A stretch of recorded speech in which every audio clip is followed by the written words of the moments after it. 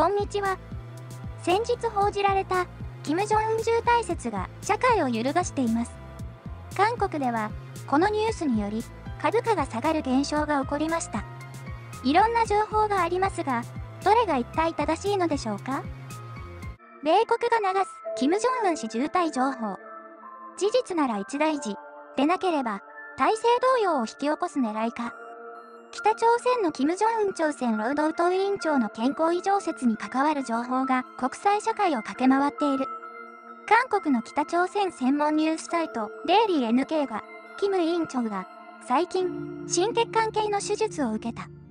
術後の経過は良好と報じる一方、米 CNN は、米情報当局が、キム委員長が重体という情報を監視中と速報し、北朝鮮ウォッチャーの間で緊張が走った。21日午前の時点で、キム委員長にまつわる情報は錯綜しており、日米韓中などの情報当局も確認に追われている。何らかの異変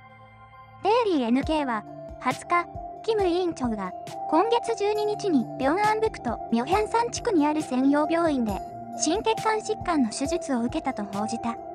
医師団は術後の経過は良好と判断し、一部を残して平壌に戻ったという。一方で、CNN は21日午前、日本時間に速報を流し、米情報当局者を引用しながら、キム委員長が手術を受けた後、重体になっている。米情報当局が情報を監視中と伝えた。キム委員長をめぐっては、今月15日の太陽節、祖父、キム・イルソン国家主席の生誕記念日に、キム主席の遺体が安置されるクムスサン太陽宮殿を参拝しなかった。2012年に実質的に最高指導者となって以降、太陽節に同宮殿を参拝しなかったのは初めてだった。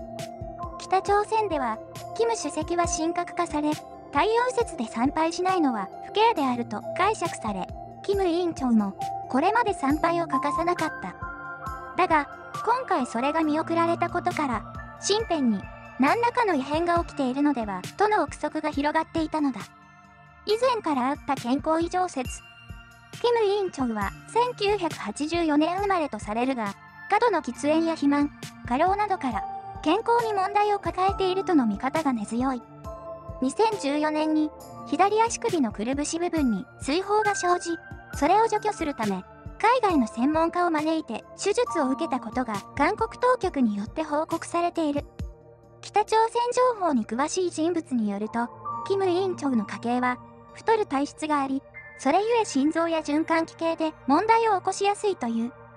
キム委員長は、2011年のキム・ジョンイル総書記死去により後継体制を確立して、以後、叔父のチャンソンテク氏を筆頭に有力者の粛清を重ねており、相当なストレスを抱えていた。それが、異常な太り方と相まって、頻繁に病気説が浮上している。ただ、現時点では、CNN が伝えるような渋滞説は確認できない。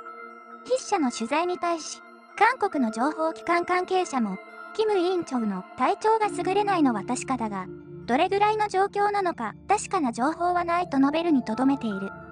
一方、クムスサン太陽宮殿を参拝しなかったことと、健康異常説を結びつけることには異論が出ている。キム委員長は、キム・イルソン、キム・ジョンイル時代の伝統的な偶像化を終え、現代的な指導者としての地位を固めている。北朝鮮住民に義務付けられている肖像記章をキム委員長本人がつけないなど、キム主席離れを進めている。参拝しなかったのも、その文脈で読み解くことができる。今年は、生誕108年であり、節目ではないなど、問題視すべきでないとの見方だ。キム委員長の父、キム総書記は、2008年に脳疾患で倒れ、3年後に死亡した。08年の段階で、米メディアが情報当局の見解をもとに健康異常説を報じたことが、北朝鮮ウォッチャーにポストキム・ジョンイルを意識させるきっかけとなったという経緯がある。もう一つ気になるのが、トランプ米大統領が今月18日の記者会見で、最近、キム委員長から素晴らしい親書を受け取ったと述べ、北朝鮮が直ちにいかなる手紙も送っていないと明確に否定した事例。これについては、米国が、キム委員長に関する何らかの情報をつかんでいて、それに対する北朝鮮側の反応を見極めようとした可能性もある。独裁的な最高指導者の健康異常説を北朝鮮内外に流布することによって、内部の動揺を誘い出したいという意図があるのかもしれない。記事は以上です。続いてみんなの声をご紹介します。あれ？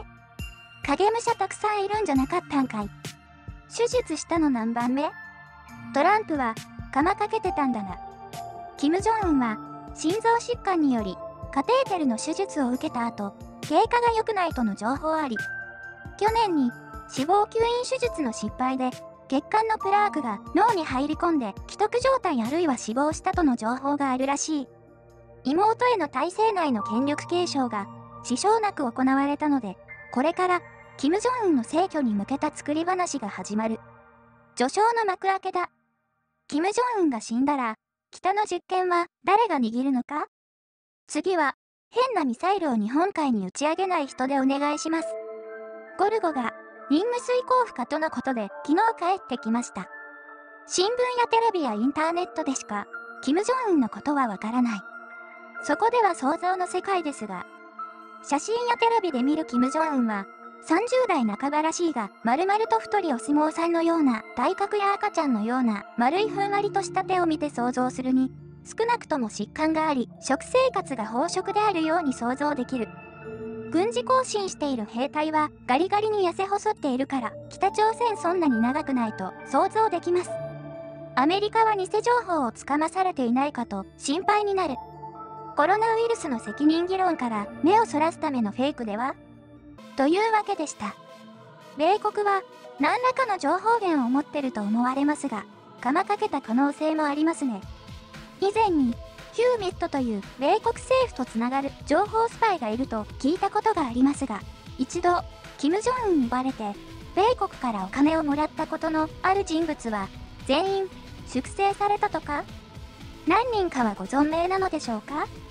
韓国は、キム・デジュンの左派政権になってから、KCIA が解体され、米国とは別のルートで、おそらく北から流れてくる情報を流してるのだと思われます。北から情報が流れてくるのか、疑問ですが、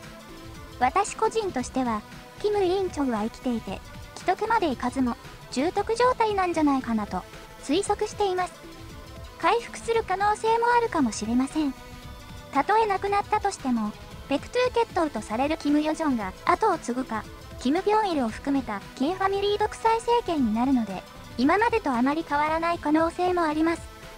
ご視聴ありがとうございます。チャンネル登録もよろしくお願いします。またね。